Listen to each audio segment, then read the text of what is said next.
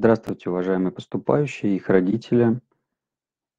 В сегодняшнем видео мы хотели бы рассказать о основных изменениях в правилах приема на 2021-2022 учебный год.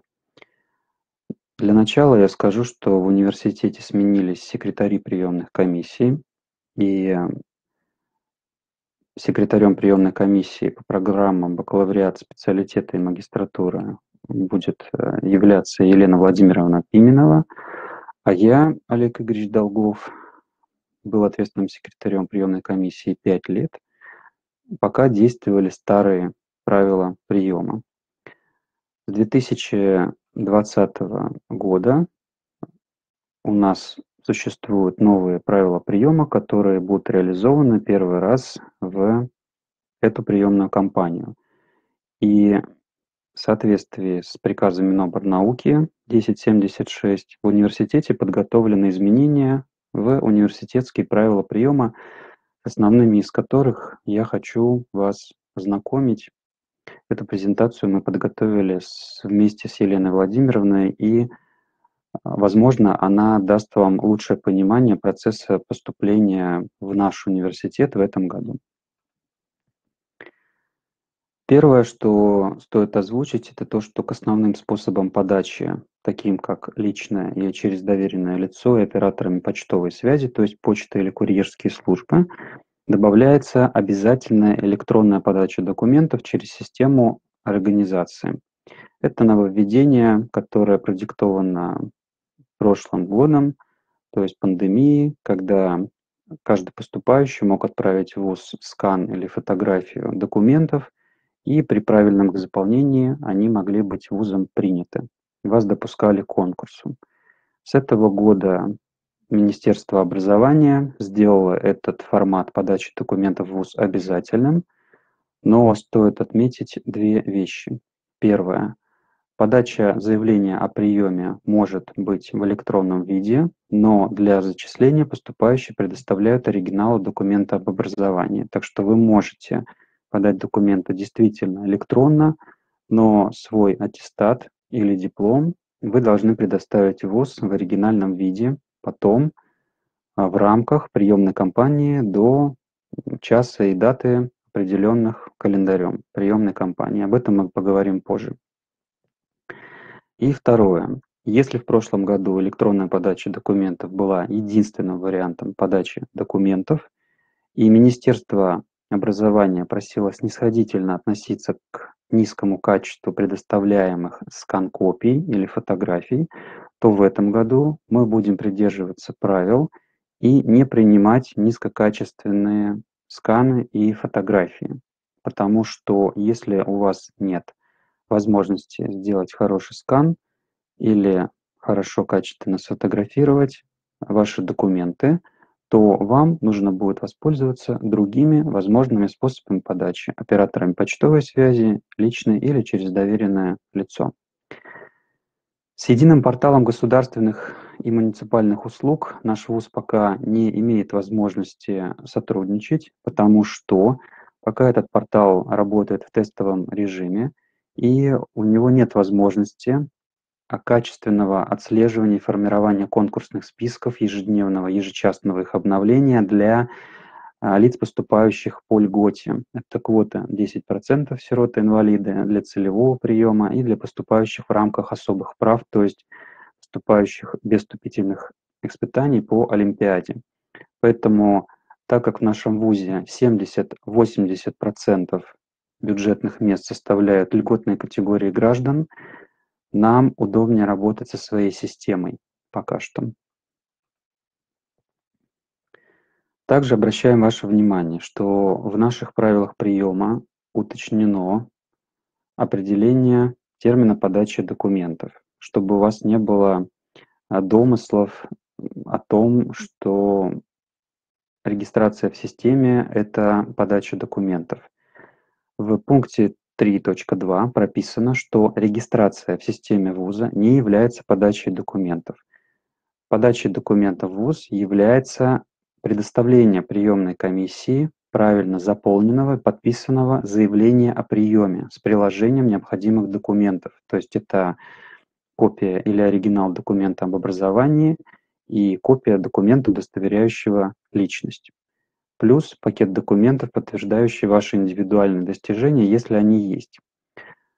До этого момента некоторые поступающие настаивали, что процесс регистрации в системе, то есть заполнение данных на сайте вуза, это и есть подача документов. Нет. Дело в том, что мы не можем вывесить на сайте заявление о приеме пустое для вашего заполнения, потому что по опыту других вузов вы заполняете эти заявления на 80% неправильно. Вы указываете не те конкурсы, вы указываете целевой конкурс, не прилагая целевое, вы указываете контрактный конкурс, не предоставляя договора, вы указываете баллы за индивидуальные достижения, которых не имеете. Такие заявления о приеме ВУЗ должен забраковать, отказать вам в подаче, и вы будете переписывать это заявление до тех пор, пока у вас не получится правильно. Это долгий путь, и такой путь мы уже проходили. Поэтому в нашем ВУЗе система подачи документов реализуется следующим образом. Сначала вы регистрируетесь системе ВУЗа, вводите туда в личном кабинете данные паспорта, аттестата, указываете свои конкурсы, индивидуальные достижения, и затем вы либо приезжаете к нам в ВУЗ по записи в очереди в приемную комиссию, мы здесь на месте проверяем правильность ваших конкурсов. Если все правильно, мы распечатываем правильное заявление, и вы его здесь подписываете. И мы принимаем это ваше заявление. Это и есть подача документов в ВУЗ. Или вы сообщаете приемной комиссии о том, что вы будете подавать документы дистанционно в электронном виде или почтой в бумажном носителе. И приемная комиссия берет на себя обязательство проверить правильность ваших заполненных данных.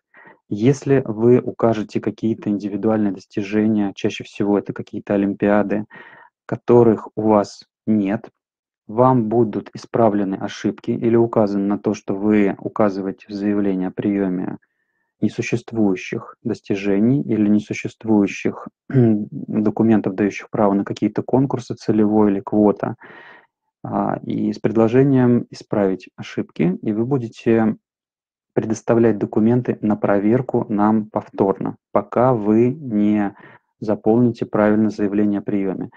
Если проверка покажет, что вы правильно заполнили документы, то тогда вам разрешат дома напечатать заявление о согласии о приеме, если вы не можете приехать, подписать его и послать нам. Приемная комиссия посмотрит на ваше распечатанное заявление о приеме, и только этот момент является подачей документов в университет. То есть регистрация в системе не является подачей документов в ВУЗ. Загрузка в нее данных, сканов паспорта, аттестата для проверки не является подачей документов в университет.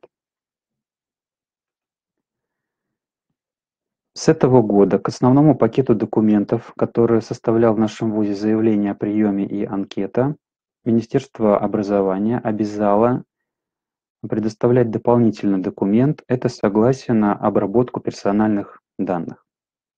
Раньше эта строчка входила в заявление о приеме, но сейчас эти документы вынесены в отдельный, скажем так, документ, и таким образом в наш университет минимальный комплект документов будет включать заявление, анкета, которая будет содержаться в одном Excel-файле вместе с заявлением. Они заполняются автоматически на основании данных, которые вы заполнили в личном кабинете. И, видимо, на третьей вкладке у нас появится заявление на согласие на обработку персональных данных. Если вы имеете какие-то индивидуальные достижения или льготы. Мы об этом поговорим позже. Знак ГТО, допустим, или волонтерскую книжку. Вы также предоставляете скан копии или копии на бумаге документов, подтверждающие льготы или индивидуальные достижения. Чернобыльские удостоверения, целевые, сиротство, инвалидность и прочее. Если вы, помимо всего прочего, также планируете участвовать в конкурсе на платное обучение, то потом вы к этому предоставляете еще договор на контракт. Договор на контракт у вас будут скачиваться также автоматически при указании соответствующих конкурсов в заявлении. Вы все это увидите в инструкции по заполнению документов. Таким образом, если у кого-то нет льгот и не планируется контрактного обучения, пакет документов будет составлять заявление о приеме, анкету и согласие на обработку данных. Три подписанные бумаги, к которым вы при, прилагаете ксерокопию аттестата и ксерокопию паспорта.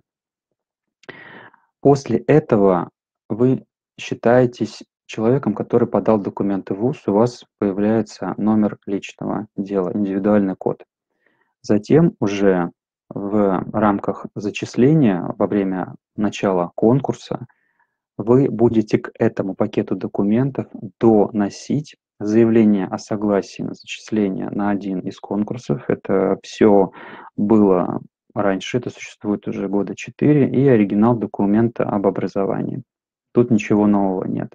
В этой части изменяется только то, что заявление о согласии на обработку персональных данных вынесено в отдельный документ.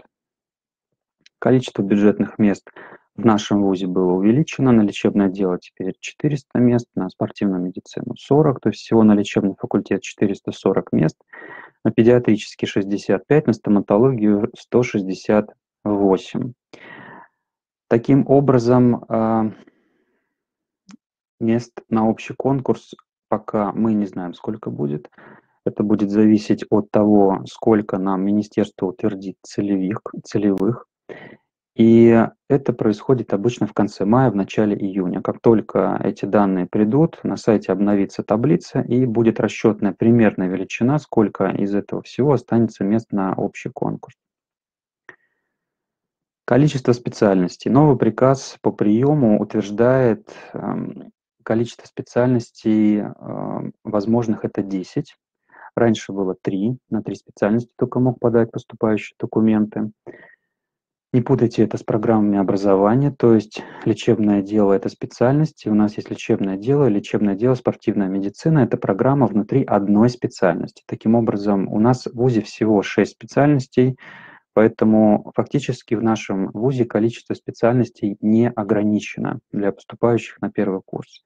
Единственное, что внутри каждой специальности вы можете еще добавить конкурс, это а, просто бюджет общего конкурса, контрактный конкурс, если у вас есть целевое направление, еще и целевой конкурс, и все равно это будет считаться одной специальностью. То есть у вас может быть конкурс лечебное дело, общий конкурс, лечебное дело, контракт, лечебное дело, целевой, три строчки в основном заявлении, и все равно это будет одна специальность. По некоторым специальностям, таким как адаптивная физическая культура, нет бюджетных мест, по некоторым а, нет целевых, но а, ваше заявление может включать а, больше 10 строчек. Главное, чтобы количество специальностей не было превышено. За индивидуальное достижение, как вы знаете, начисляются баллы не больше 10. Они добавляются к сумме ваших вступительных испытаний, это ЕГЭ или внутренние испытания, проводимые в ВУЗе. И с этого года в части изменений за золотой знак ГТО дается 2 балла, раньше был 1 в нашем ВУЗе, и за волонтерскую деятельность, если раньше мы не давали баллы, учитывали это просто при прочих равных, потому что у всех были очень разные документы, это было сложно ранжировать и оценить, то сейчас за волонтерство будет даваться 5 баллов, но при наличии волонтерской книжки и 200 подтвержденных часов работы. Обратите внимание, что 200 часов работы будет вам давать 5 баллов. То есть это максимум. 400 часов работы не будет давать вам 10 баллов. 199 часов вам не будет давать никаких баллов. 5 баллов за 200 часов и более работы. И также одним из основных изменений приказа министерства является то, что запрещено начислять баллы за другие индивидуальные достижения. То есть раньше можно было поступающим в некоторых вузах сделать селфи отметить хэштегом э, свой вуз будущее, и за это начисляли баллы, что выглядит достаточно сомнительно. Но с этого года запретили это делать. Таким образом, к сожалению, олимпиады, которые сейчас проводятся вузом по биологии, химии и профориентационной направленности и другие, не могут быть учтены в баллах в нашем вузе, а могут быть учтены в баллах только олимпиады, которые входят в а, Российский совет олимпиад школьников, которые имеют уровни 1, 2, 3, и мы будем стараться наши олимпиады привести в соответствие третьему или второму уровню, а может быть и первому в будущем. Это будет касаться уже не этого приемного года. Что касается сроков приема документов и зачисления. Для общего конкурса оставлен один этап до заполнения 100% мест. На самом деле мы возвращаемся к системе, которая существовала до 2014 года. Я ее застал еще, когда был заместителем ответственного секретаря. И сейчас ВУЗ не должен оставлять обязательных 20% мест на второй этап, как это было раньше. Таким образом, сначала до 24 июля все будут подавать заявление о приеме. А, далее, с 28, 29 июля и 30 будет длиться приоритетный этап зачисления, это для льготных категорий граждан. Потом с 31 июля по 5 августа будет проводиться основной этап общего конкурса и заполнятся все места, все места. И если вдруг кто-то 6 и 7 августа решит отчислиться из вуза, или на какой-то конкурс будет недобор, свободные места, и кто-то изъявит желание донести к имеющемуся пакету документов заявление о согласии на зачисление и аттестат, то тогда э, будет произведен дополнительный набор, но 8 августа это будет последняя дата, когда будет происходить зачисление. Наша приемная комиссия работает до 8 августа, это воскресенье, и далее зачислять никого не будет. То есть дополнительный набор, последняя дата – это 8 августа. Если вам кто-то будет говорить, что в конце августа будет еще добор, то это мошенники. Не верьте им. Приемная комиссия просто приказом не существует и не может выпускать приказы о зачислении. 10 августа она будет расформирована. На сайте представлен календарь приемной кампании. Обратите внимание, он достаточно понятный. Как им пользоваться? Это начало приема документов для иностранцев, это 1 июня. Для всех остальных э, целевых э, лиц, поступающих в магистратуру и э, общий конкурс, бюджет контракт, это 19 июля у выпускников этого года, пока у вас не будет аттестатов, но это даты, касающиеся выпускников прошлых лет. Лица, которые поступают по внутренним испытаниям, которые проводятся университетом самостоятельно, они подают документы, то есть заявление о приеме до 14.00 10 июля. Я еще раз обращаю внимание, что в 2 часа дня 10 июля в приемную комиссию должно поступить ваше подписанное заявление о приеме, правильно заполненное. Вы не регистрируетесь в системе до двух часов, а предоставляете заявление о приеме. Если вы не предоставите заявление о приеме к этой дате, то вас не примут документы в ВУЗ. Если вы в 13.59 зарегистрируетесь в системе и отправите документы на проверку только, их проверят, но заявление о приеме вы предоставите уже после 14 и вам будет отказано, потому что регистрация в системе и отправление данных на проверку не является подачей документов в ВУЗ. Пожалуйста, делайте все заранее, дня за 3, за 4. Для тех, кто поступает по результатам ЕГЭ, последняя дата – это 24 июля 18.00. И далее начинается уже конкурс и зачисление. Для льготников это с 28 июля до 28 июля до 18.00 мы ждем аттестаты и согласие на зачисление. 29 июля на проверку дается, 30 июля будет приказ о зачислении на приоритетном этапе. Далее до 3 августа до 18.00 мы ждем э, заявления о согласии на зачисление и эм, оригинал документа об образовании тех, кто хочет участвовать на основном этапе до заполнения 100% мест. 4 августа дается день на проверку и 5 августа дается день на издание приказов, на этом прием заканчивается. Если вдруг кто-то откажется от зачисления, то 6 и 7 августа до 18.00 мы будем добирать аттестаты и заявления о согласии, и 8 августа будет выпущен еще один приказ. На этом приемная комиссия закончится. Еще одним очень важным изменением а, является то, что в конкурсных списках нельзя будет отображать фамилию, имя, отчество поступающих. Вместо этого будет отражаться или СНИЛС, или код поступающего при отсутствии СНИЛСа. Таким образом, примерно так будет выглядеть конкурсный список. Вместо фамилии, имен и отчеств здесь будут коды. Это требования министерства для безопасности поступающих. И те, кто в итоге будет доносить согласие на зачисление и аттестат, они будут занимать имеющиеся места на факультете.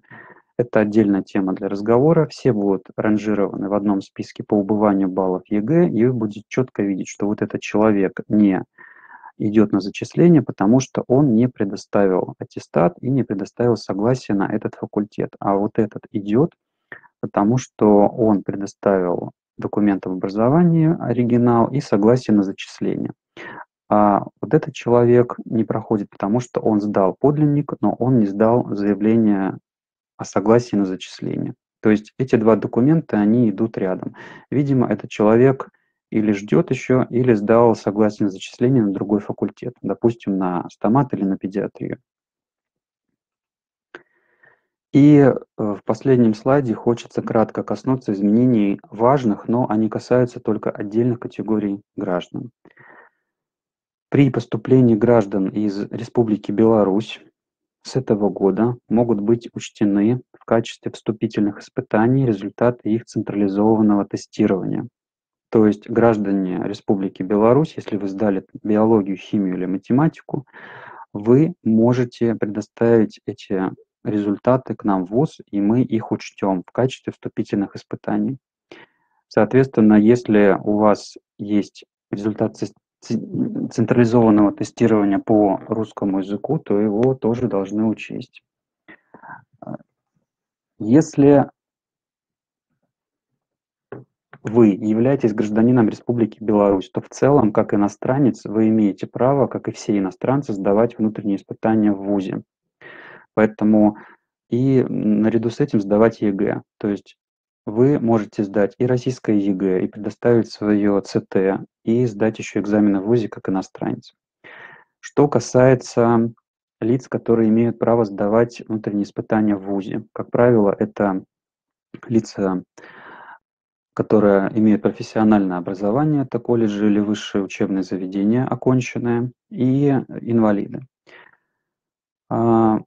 Если раньше вы, заявляясь на внутренние испытания, отказывались от результатов своих ЕГЭ, если у вас был результат ЕГЭ, то с этого года Министерство образования э, ввело нововведение, которое гласит, что вы можете, даже имея результаты ЕГЭ, сдавать внутренние испытания и потом выбирать из этих двух предметов наибольших. То есть не то, что выбирать, мы вам обязаны будем зачесть наивысшую оценку. То есть если у вас имеется 70 баллов по ЕГЭ по какому-то предмету, и вы получили 50 на внутренних испытаниях в ВУЗе, то мы все равно вам учтем 70 за ЕГЭ. А если у вас было 70 по ЕГЭ, а в ВУЗе вы набрали 75, то у вас будет учтено 75 баллов, то есть максимальная оценка из полученных результатов. Я повторюсь, это не касается обычных школьников, это касается только лиц, которые имеют право сдавать внутренние испытания в ВУЗе. Третье. Важный момент, который касается иностранных граждан, а точнее граждан, которые поступают на медицинский факультет иностранных студентов. Задача факультета иностранных студентов в том, чтобы максимально охватить разные страны, которые будут учиться у нас в ВУЗе. То есть этот факультет был создан для того, чтобы максимальное количество иностранцев, граждан из наиболее разных стран обучалось на этом факультете. Если бы вуз хотел набирать просто людей по ранжированию баллов ЕГЭ, то эти места бы были отданы просто на платное обучение для россиян.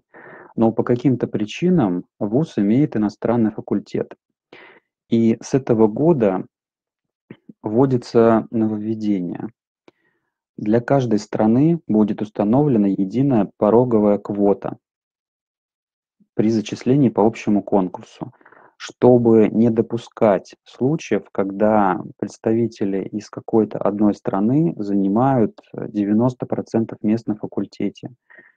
Еще раз повторюсь, задача вуза охватить как можно большее количество стран. Таким образом, на первом этапе зачисления будет система, которая будет регулировать количество лиц, поступающих от каждой страны. И если, к примеру, у нас будет 100 мест, то на первом этапе не может зачислиться 25 человек из одной страны. То есть их зачислится все равно 20, даже если у 21, 22 и 23 будут сумма баллов за вступительные испытания больше, чем у граждан других стран. Я надеюсь, это понятно. И только при наличии нереализованных мест после издания приказа 5 августа, если останутся места, то все остальные граждане, которые не поступили, они уже будут формироваться в одном общем списке по убыванию баллов ЕГЭ и зачисляться без учета этой квоты. Я еще раз повторюсь, для иностранцев это очень важно.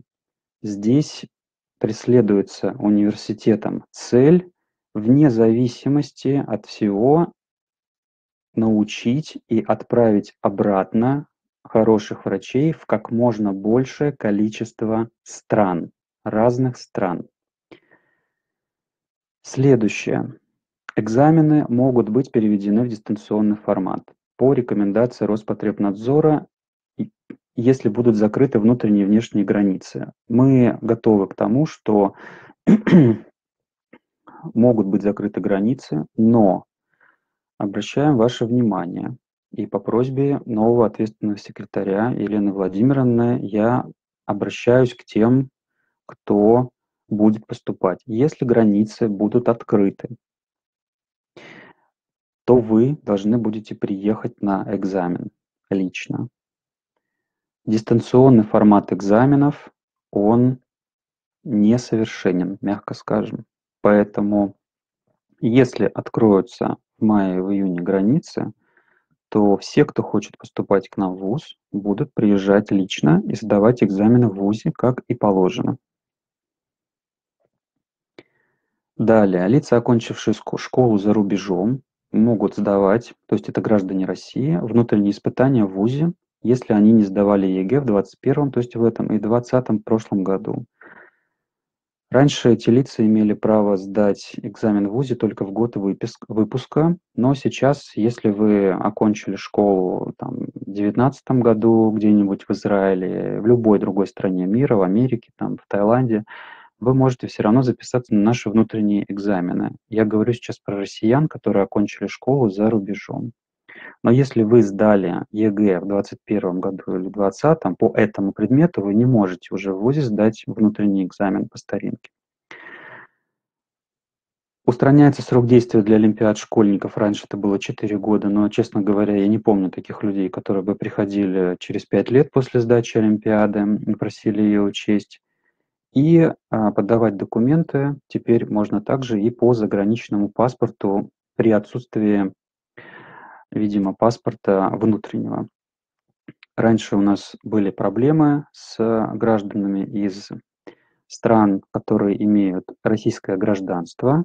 Гражданство это Приднестровье, Абхазия, ДНР, ЛНР и прочие страны, которые позволяют их гражданам иметь российское гражданство, и у этих граждан имеется загранпаспорт, но нет внутреннего паспорта России, да, и если раньше заграничный паспорт удостоверял вашу личность только за пределами Российской Федерации, и вы не могли подать документы с ним в ВУЗ, я беру год до пандемии, то есть вы, приезжая в ВУЗ, не могли предоставить документ, который удостоверяет вашу личность на территории Российской Федерации, потому что загранпаспорт удостоверяет вашу личность только за пределами Российской Федерации, то с этого года Министерство образования разрешило подавать документы также и по заграничному паспорту. И не забывайте, что вы должны предоставить нам тот документ, на котором вы сдавали ЕГЭ. Если вы нам предоставите внутренний паспорт, а сдавали ЕГЭ вы на загранпаспорте, вы обязаны нам об этом сообщить. Ближе к дню открытых дверей будет, видимо, обновлена эта презентация. День открытых дверей будет в мае. А пока всем удачи поступления и до свидания.